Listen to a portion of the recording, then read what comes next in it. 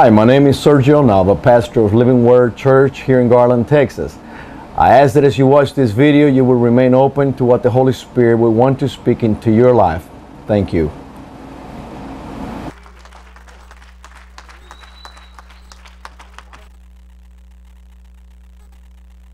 Hallelujah. There we go. Got some power now, amen. Praise the Lord. It's good to be in the Lord's house this morning. It's good to see all of our visitors this morning. God bless you. Thank you for coming to the God's house. You know, I know God is uh, doing something good in this time and these in this time that we're in in these last days. But you know that we're going to be going through some stuff. But we got to keep going through. Amen. Uh, there was a there was a singer I can't remember his name right now, but he was singing, "If you're going through hell, just don't stop." Amen. Just don't stop. Keep going. Keep going. Keep going. Amen. I want to give God praise this morning.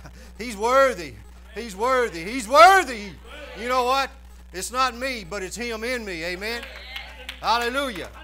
Hallelujah. God is, oh, hallelujah. I want to give Him praise. Hallelujah. Yes, yes, yes. The anointing, let Him let it come. Let it come this morning. Uh, the anointing is here. God has been giving me this message for about two weeks I've been dealing with it and, you know, kind of arguing and doing this and doing that. And, and I didn't know, you know, so the Lord said, This is the one I want. I said, Okay, Lord. You know, we're going through some times right now in the United States of America that it's not stable right now unless you're under the blood of Jesus Christ. Amen. I want you to know this morning that there's help in the time of need. Amen. That there's help in the time of need. Let's go to the Lord in prayer and then we'll open up this morning. Father, we lift up the name of Jesus this morning. God, we thank you that you are the mighty God of Israel and there's none before you, God, and there'll be none after you, God. Father, we just submit to your authority this morning that you would receive all the glory, Father God, and none will come to us, but it will all go to you because you are the mighty God of Israel. And we ask it in the name of Jesus. And everybody say it. Amen. Hallelujah. You may be seated. Hallelujah. I wanted to tell you, you know, there's a, there's a help in the time of need this morning. I, I, I know from going through some experiences myself and uh, relating to other people in the last weeks and months, you know, there's, there's some anxiety that's going on and there's some, there's some hardships that's going on and there's some, there's some battles that's going on. But I want you to know now that there's help in the time of need. Amen. I want you to know that we serve a mighty king. I, like, like my brother, you know, we just, we have to support one another. The Bible says in uh, Galatians 6 2 says that we should, should submit one to another and pray one for one for another that we may be doing what God wants us to, to do. Amen? Amen? Hallelujah. You know, I thank God this morning that He is worthy and that there is help in the time of need. Hallelujah.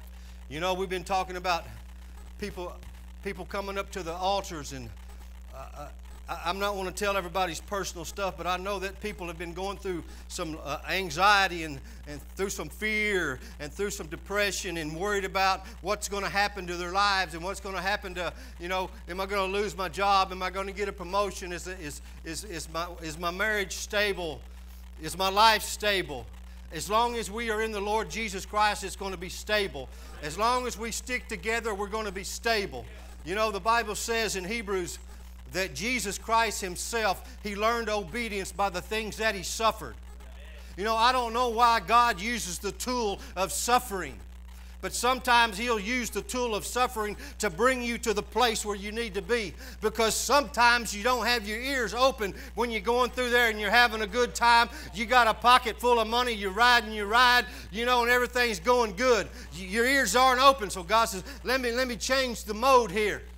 Let him, let him go through a little bit of something. Let him go through a little bit of something. I want to get his ears open.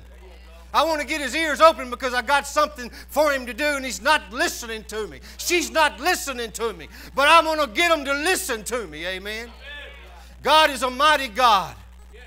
He's worthy to be praised. He's worthy to be praised.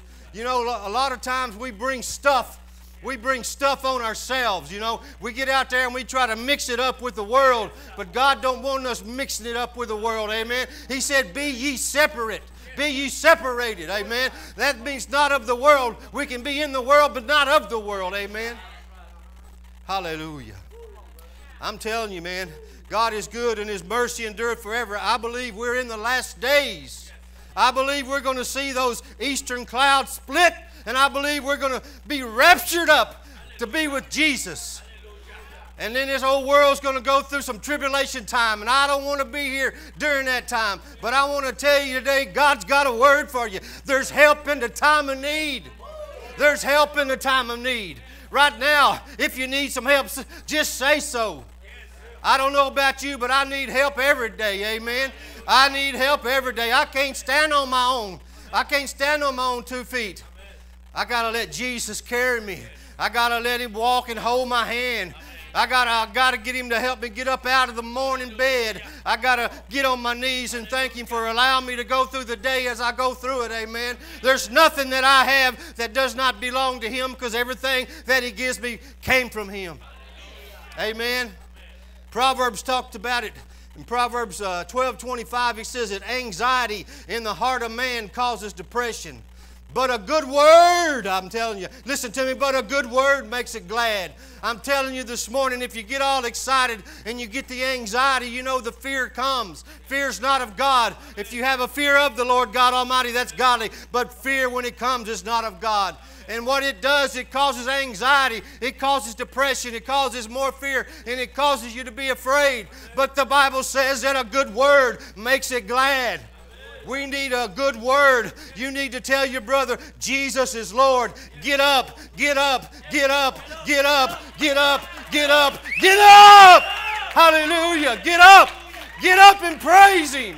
Get up and praise Him. Get up and praise Him. Hallelujah. Hallelujah. Hallelujah. He's worthy. He's worthy. He's worthy. He's worthy. Hallelujah. Hallelujah. Glory. Hallelujah. He's worthy. I'm telling you, He's worthy. He's worthy. He's worthy. I'm telling you, He may knock me down, but I'm not going to stay down. Hallelujah. I'm, woo, I'm telling you, in Holyfield, he fought Mike Tyson. It was a battle. It was a battle. But I'm going to tell you, I'm going to tell you, Holyfield stood the 15 rounds. You may look like you've been in a fight with Mike Tyson, but he has the belt. Amen. He came out the victor. I'm telling you, you may look like you might go through a battle, but Jesus is a King of kings and He's a Lord of lords. Hallelujah. Oh, glory. I'm telling you now, hallelujah, that He is the one and the only. He is the Jesus Christ. Hallelujah. Hallelujah. Second Timothy says that God did not give us a spirit of fear, but of power and of love and of a sound mind. Amen. He didn't give us a spirit of fear. It don't belong to us. It belongs to the enemy. He didn't give it to us. He gave us power. He gave us power through the anointing of the Holy Ghost. Hallelujah. He gave us power. He gave us power. He gave us a way. The Bible says in Acts 1 8 that they received power. Amen. Hallelujah. And they were to receive that power to be witnesses. Amen. Unto Jerusalem, unto Judea, unto the Samaria, and unto the uttermost part of the earth. They got that power to be a witness of Jesus Christ. Amen. Hallelujah. Let me get a drink of water here. Oh, hallelujah. I'm excited this morning. You know, I'm excited this morning. Hallelujah. Somebody's been praying for me. You know, I, I want to give a quick testimony right now. I've been in the hospital recently. My number five vertebrae ruptured.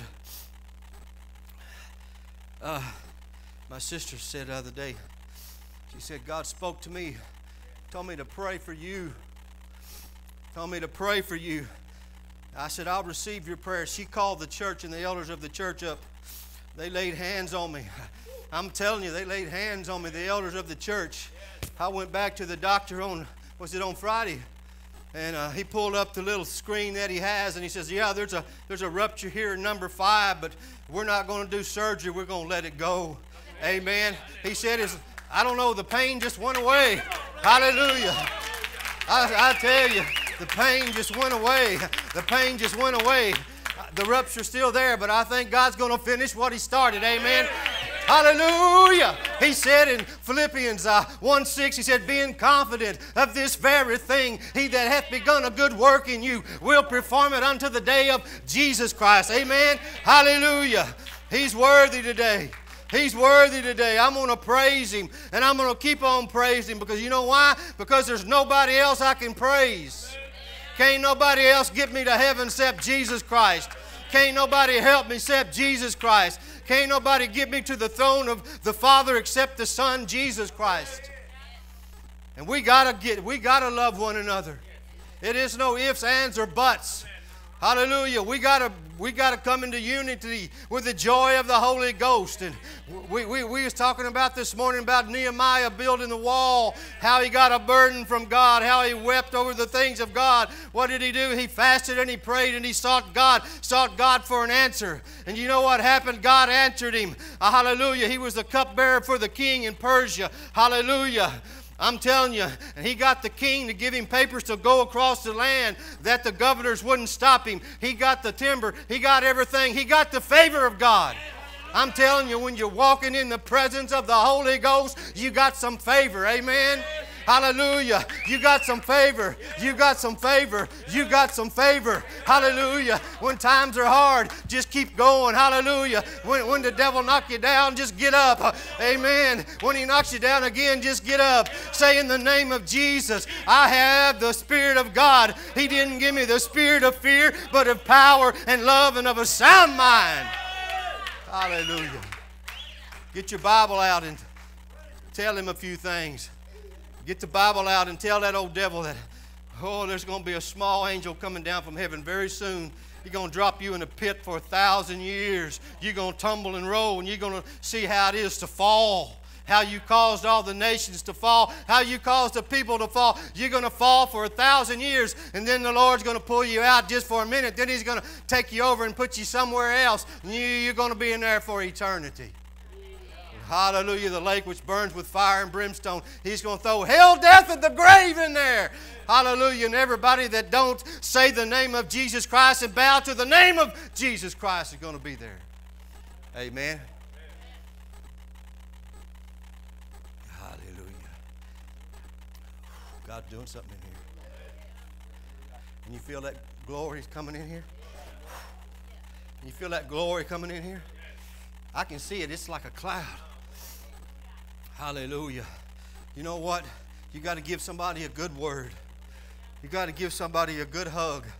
You know, I, I, see people coming in the church and, oh, they give me a good hug and they give me a kiss on my cheek. And, oh, I, I enjoy coming to church when the little kids, they come up and they, they, they want a piece of candy. If I got some in my pocket, I, I try to give them a piece if I got it. You know, them kids that we train up, that's our next generation. Amen.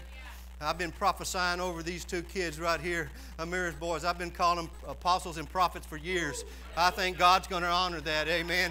Hallelujah. Since they were babies, ever since they could walk, I say, there's the apostle and there's a prophet. Amen. Hallelujah. Hallelujah. I'm speaking a good thing. Amen. I'm speaking the word of God. My sons are saved and filled with the Holy Ghost. Amen. I fought for them, but God gave them to me. Amen. They both being used in the church right now. Amen. Hallelujah. Hallelujah. You know, you got to fight for what you believe in. You got to fight for what you want. You know, your children don't stay children very long before you know it, they're grown. They're grown and they're gone. But you got to put the word in them when they're small. Put that word in them when they're small. Take them to church whether they want to go or not. Yeah, you going to church. You living in my house, you're going to church. Amen. You can ask my boys how many times they went to church. They said almost every day of the week. Dad, Dad made us clean the bathrooms and vacuum, and he made us mow the grass and everything else. Ah, but you know what? As for me and my house, we're going to serve the Lord. As for me and my house, we're going to serve the Lord. I don't want to get to heaven. I don't want to see my family there. That's, that's not what God wanted. God wants us all to come together. He, he's got a reason for you to be saved. He's got, a, he's got somebody in your family He wants you to touch. Amen. The Bible says in Proverbs 15 13, this is going to be a two parter. I'm not going to be able to get through all of it today. Hallelujah. Hallelujah. Praise the Lord. Proverbs 15 13 says, A merry heart makes cheerful countenance. Hallelujah. If you can't just tell somebody that you love them and, hey, let me take your hands, let's go to the Lord. God gave me a dream about you. God gave me a dream. He wanted me to lay hands on you. God told me to tell you that you're going to make it. God told me to tell you that you're going to make it. Amen. You're going to make it. You're a child of the living God. Hallelujah.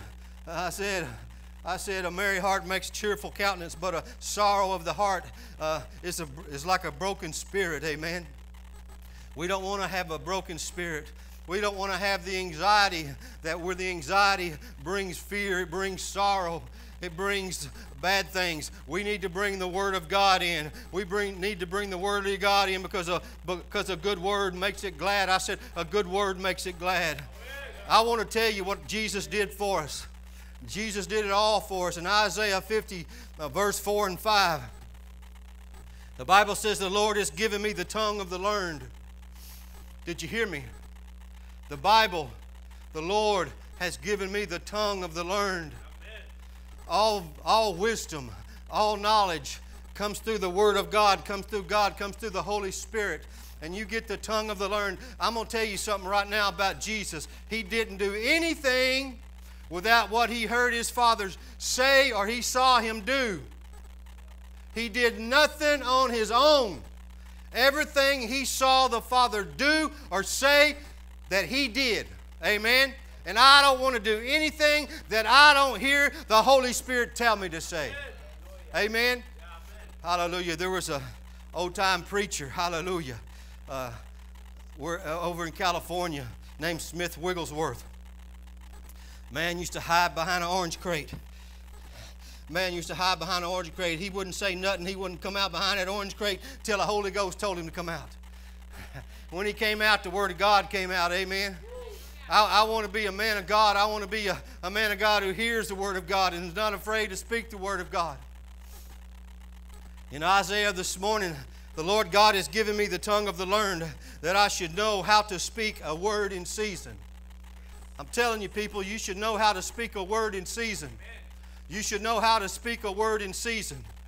I, I, see some people around here, they, they, they got their Bibles open in prayer meeting night and, and they're praying the scriptures. They're praying the scriptures. Hallelujah. They're praying the scriptures. The Lord is my shepherd. I shall not want. He makes me to lie down in green pastures. He leads me beside the still waters. He restoreth my soul. He leads me in the path of righteousness for his name's sake. Yea, though I walk through the valley of the shadow of death, I will fear no evil, for thou art with me. Thy rod and thy staff, they comfort me. You prepare a table before me in the presence of my enemies. You anoint my head with oil. My cup runs over. Surely goodness and mercy shall follow me all the days of my life, and I will dwell in the house of the Lord. Amen. Hallelujah. Hallelujah. If you don't got it in, you can't get it out. You got to get it in and get it out. Hallelujah. I'm, I'm going to tell you, there's going to be some rough days. There were some days I didn't think I was going to make it. I call on my little wife. She's a prayer warrior. I say, come and agree with me. Come and agree with me. Call the ladies of the church. Call the favor ladies. Tell them I need some prayer. Hallelujah. We got to get the people praying for us. We got to stand together as a body of Christ. We got to stand together in our men's group. We got to stand together in our women's group. We got to quit playing church. It's too late in the season to be playing church. We're in the fourth quarter. I'm telling you, we're in the fourth quarter. We're in the fourth quarter. Amen. Hallelujah. I'm pro. Praise God. Hallelujah. Hallelujah that you'll have a word in season to him who is weary. You see somebody, you can see somebody that's weary. You can see they're going through something. I want you to get a word for them. Get in the Bible and, and tell them, hey, God told me to lay hands on you. God told me to tell you, you're going to be okay. It's going to be all right. You're going through a time of mourning right now. You've lost your loved one. You've lost your best friend. You've lost your husband. You've lost your wife. You've lost your brother. But I'm going to stand with you. I'm going to stand with you. I know what it's like to lose somebody. And God give you supernatural strength to go through that time and through that, se- through that season. Amen. It's hard. But God gives us strength. He gives us strength. He awakens me in the morning. He awakens my ear to hear as the learned. The Lord has opened my ear and I was not rebellious, nor did I turn away. Amen. When God wakes you up in the morning, or he, sometimes He says, Turn off the TV, it's time It's time to get with me. It's time to, to, to pray. I got something to tell you. I want you to read a little scripture. I want you to hide. He said, I want you to hide this word in your heart that, that you'll not sin against me. Amen. Hallelujah. I'm going to be closing in a minute. Hallelujah. He's worthy to be praised. I'm excited. You know, I know what I know what it's like to be in the pit like Joseph was in the pit. You know that you know what the pit was for Joseph? It was a place of safety. Because if he wasn't in the pit, he would have been dead. It's a place that saved his life. A place that saved his life. I don't know if you've been in the pit before, but if you've ever done anything for God or you're ever going to do something for God, I imagine you'll get there one of these days. But let me tell you, Joseph went from the pit to the palace. Hallelujah. He, he knew how to hear God. He knew how to hear the voice of God. He knew how to be obedient to God. Amen. Hallelujah. There's help in the time of need. You see, God has a plan for His children, for those who keep His covenant. You know what a covenant is? A covenant is a promise between two people. Amen. It's a covenant, it's a promise between two people. Each person has a side, each person has something that they're supposed to give. God gives this and you give this, and that's the covenant. The Bible says when a man and a woman come together, they, they are married until death do they part. That's a covenant. Amen. We have a covenant with God for eternity. At the rapture or at death, God will call us home. And we're going to be with Him for eternity. I like what it says in John 14. I'm not, I haven't got there yet, but I'm going to get there in a minute. He said, In my house there are many mansions. If it were not so, I would have told you. Let me go back up. He said, Let not your heart be troubled. You believe in God, believe also in me. Hallelujah. I'm telling you, we got to believe in God in the hard times. You got to believe in God when you don't, you know, your mind's telling you not to. There's going to be a time of testing. Jeremiah 17:10 says God tests the mind and the heart. I say, Lord, my mind's been through a lot of testing. I don't know if I can take it anymore. And at that time, all I can do is holler, Jesus. Jesus, I don't know if I can make it today, Jesus. Lord Jesus, I need your help. He said, Stand up, son. Stand up, son. He said, I'll never leave you nor forsake you. I'll be with you always, even to the end of time even to the end of this age. He said, You believe in God, believe also in me. In my Father's house are many mansions. I got me a mansion up there and I got me a big chopper in the garage. Amen. Hallelujah. Uh, if it was not so, I would have told you. Jesus wasn't lying to his disciples. He said, I'm, I'm, I've got some people up there and I got them to work and they're building some mansions. They're building you a house for eternity. Amen. They're building you a place where you can stay, where you can visit with the Father. There's going to be streets of gold. Amen. There's going to be trees with leaves on them for the healings of the nations. There's going to be fruit on those trees that we can eat for our healing. Amen. Amen. Hallelujah. God is a good God. God is a good God and His mercy endureth forever. Hallelujah. Hallelujah. He said, And if I go to prepare a place for you, I will come again and receive you to myself, that where I am, there you may be also. Hallelujah. And where I go, you know the way. But you remember Thomas, one of the twins, the doubting Thomas. He said, Jesus, I'm not going to believe unless I can put my hands in the holes of your fingers and, your, and stick them in the side. Uh, Jesus, Jesus, I'm not going to believe. But here in, in number five on, on, on John, number 14, number 5 says, Thomas said to him, Lord, we do not know where you're going, and how can we know the way? Jesus said, I'm going to give you some instructions. I'm going to write it down for you very plainly. I'm going to give you the instructions, and you're going to know how to get to where I'm at. Jesus told him, He says, I am the way, I am the truth, I am the life. There's no way to the Father except to me. Amen? I am the way. I am the truth. I am the life. No way to the Father except through me. Glory. Hallelujah. Glory. I'm telling you, the glory's in here this morning. God's going to do something. God's doing, you know, there's a lot of people here this morning that's been going through some burdens. There's some people here this morning that's been going through some anxiety. Uh, you know what? But the anxiety is no good. It doesn't come from doesn't come from a God. But I'm telling you right now, I'm fixing to give you a good word. It's going to be okay. God's going to bring you through it. I'm going to tell you this. You put you write this down. Philippians 1 and 6. You write it down. Being confident of this very thing, he that hath begun a good work in you will perform it unto the day of Jesus Christ. You write that down and you put it in the bank account because it's, it's, it, it you, you can put it in, in your little gold basket and put it in your savings account and put it in your checking account or hide it in a wall, wherever you want to put it, because it's, if God said it, it's going to come to pass. If God's given you a promise, it's going to come to pass. A lot of times we get our own selves in trouble by not doing what God wants us to do. We get out there and we stagger this way and we stagger that way. And, and if you're staggering, all you got to do is say, Lord, forgive me. Lord, I, I just bow before you, Lord. If I, I, like David did in Psalms 139 and 23, he said, Lord, search me, O Lord, and see if there's any wicked way in me and lead me in the path of everlasting. Amen. Amen. But when you ask God to search you, get ready for a search. Ah, man, He's going to pat you down. He's going to see what's there, and then He's going to He's going to let you suffer a little bit. I'm closing. Hallelujah.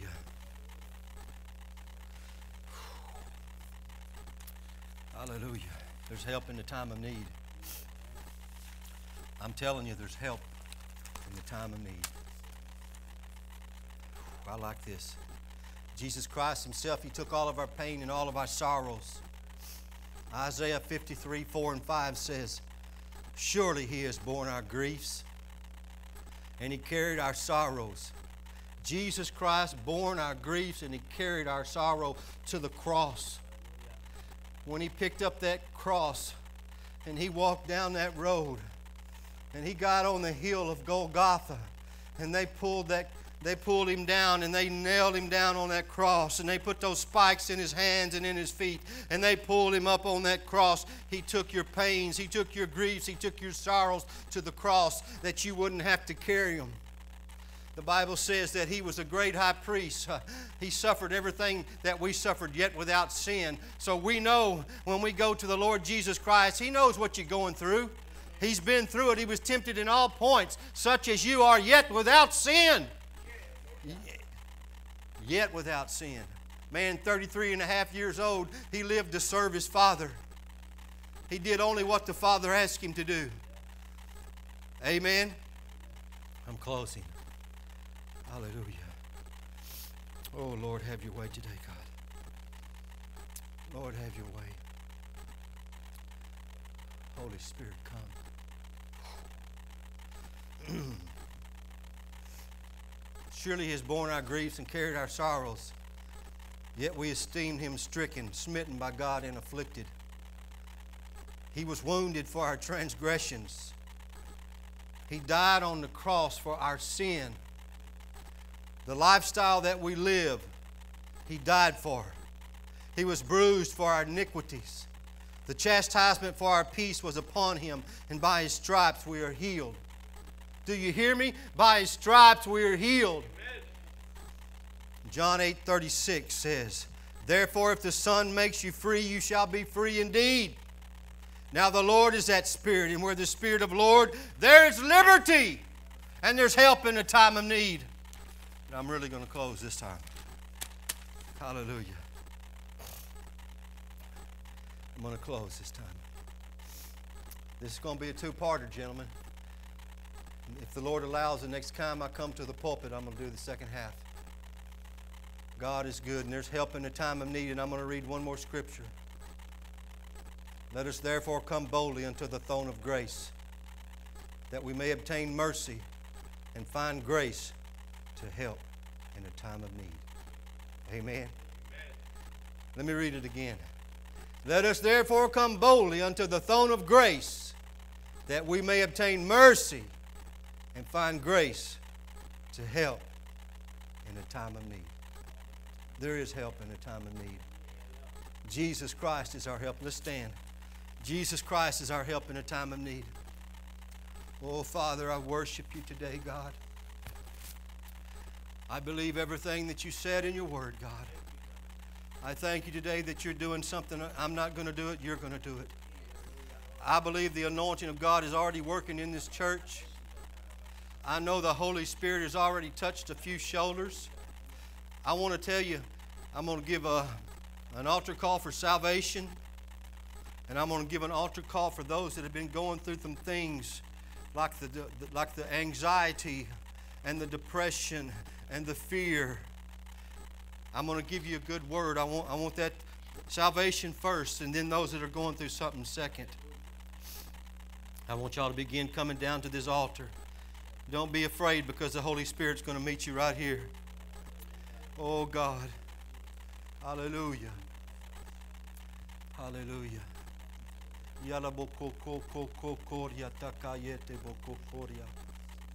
Shili kokonda kakaya. You know, it's not a shame to ask God for help. Say, Lord, I just need a little help. You don't have to tell me what you're going through. You just say, I need a little help. Is there help in a time of need? Yes, there is. And I know there may be somebody here today that needs some help in the salvation area. I, am not really sure if you've never been saved or if you've just turned your back on God. If that's you, I would ask you to come out. Brother, you know that song that talks about the rain, can you put that on? Hallelujah. It's beginning to rain. The rain is coming down, the glory is coming down. God is going to meet you right here in Living Word Church. Amen. God is going to meet you right here in Living Word Church. Come on down and let's praise the Lord together. Come on down and let's praise the Lord together. I pray the Lord has touched and blessed your heart through this message. If after viewing this video you would like to receive Jesus Christ as your personal Lord and Savior, I would like to invite you to say this short prayer with me. Join me right now as we go to the Lord in prayer. Heavenly Father, God, I ask you this very moment, God, that everyone that is viewing this, this video, God, that you will come into their life, God. Touch them, God, and change them, Lord. Mold them into your image. Repeat after me. Heavenly Father, I ask you to come and touch me, God. Restore my life, God. Touch me in a different way, God. I ask you, God, that you will change me, God. I give you my life. In Jesus' name, amen. I would also like to invite you to one of our upcoming services to experience the power of God personally. May the Lord Jesus Christ richly bless you. Thank you.